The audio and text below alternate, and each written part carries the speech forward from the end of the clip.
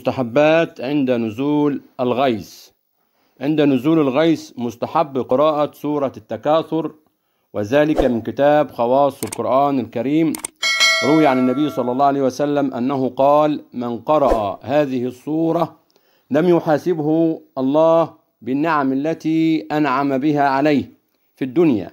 ومن قرأها عند نزول المطر غفر الله ذنوبه وقت فراغه. وعنه. قال الإمام الصادق رضي الله عنه من قرأها وقت نزول المطر غفر الله له ومن قرأها وقت صلاة العصر كان في أمان الله إلى غروب الشمس من اليوم الثاني بإذن الله تعالى.